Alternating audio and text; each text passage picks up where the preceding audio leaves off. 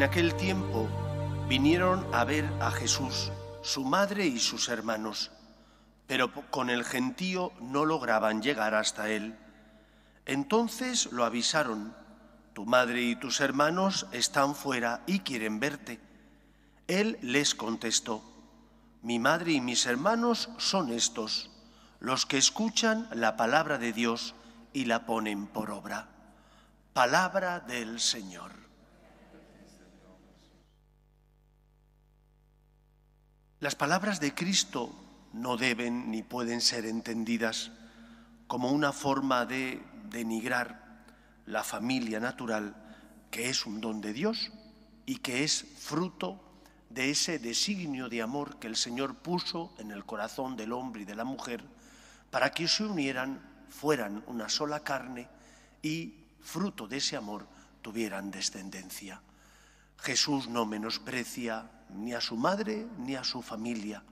Ya sabéis que la palabra hermanos para los pueblos semitas tiene una connotación mucho más extensa, abarca mucho más de lo que abarca para nosotros.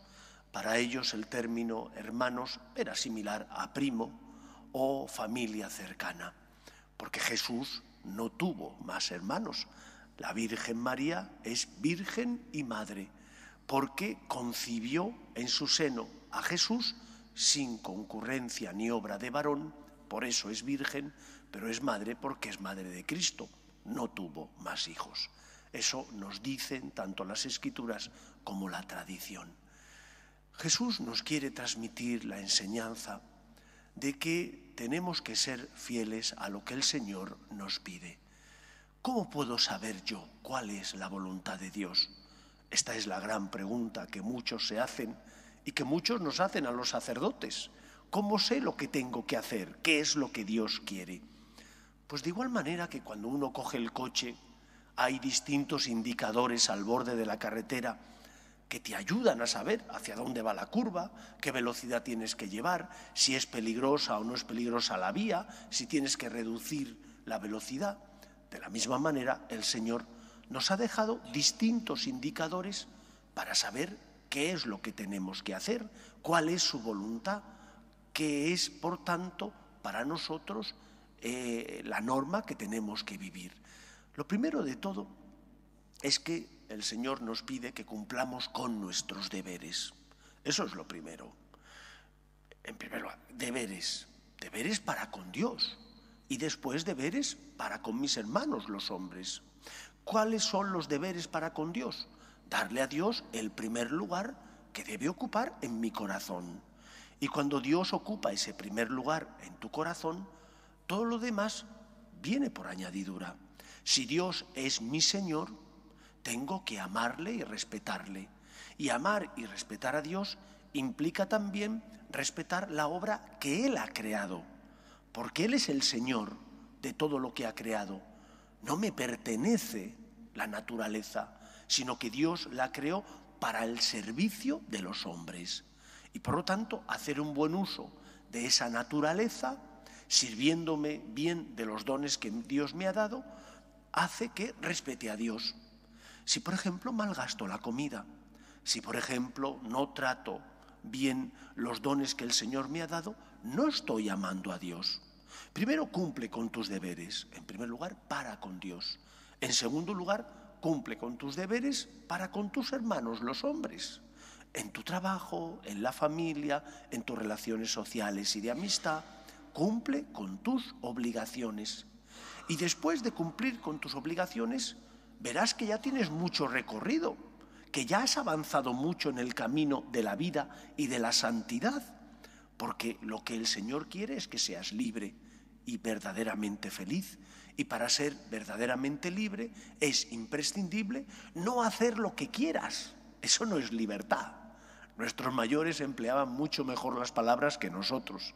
Nosotros las empleamos mal porque políticamente hay un cometido y una finalidad que es desvirtuar todo lo que la Iglesia ha ido enseñando desde hace dos mil años nuestros mayores llamaban libertad a cumplir con tus deberes haciendo el bien, evitando el mal y por lo tanto cumpliendo con la voluntad de Dios.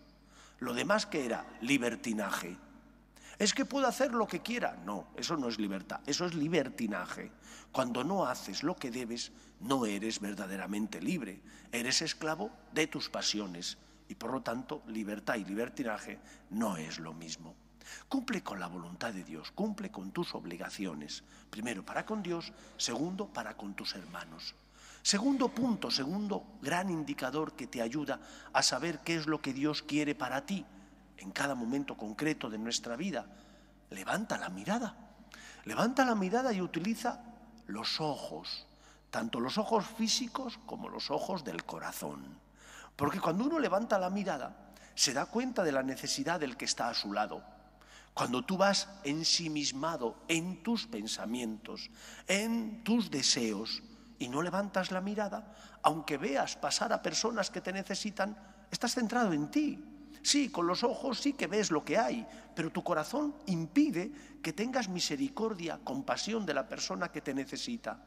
Levantar la mirada implica utilizar los dones y talentos que Dios nos ha dado para ponerlos al servicio de la justicia y del amor.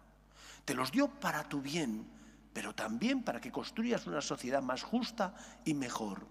Y levantando la mirada, teniendo misericordia, ayudando al que pasa a tu lado, estarás haciendo la voluntad de Dios. Recordad la parábola del buen samaritano. Cuando esos que querían quedar justificados le preguntan al maestro, maestro, ¿y quién es mi prójimo? De sobra sabían quién era su prójimo, pero querían quedar muy justificados y tranquilos.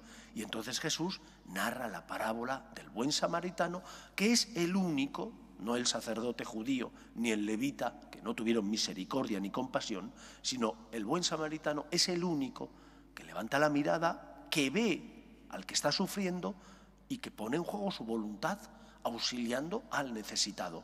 Los otros dos lo vieron, pero no, su corazón no se movió para ayudarles a él, al que sufría.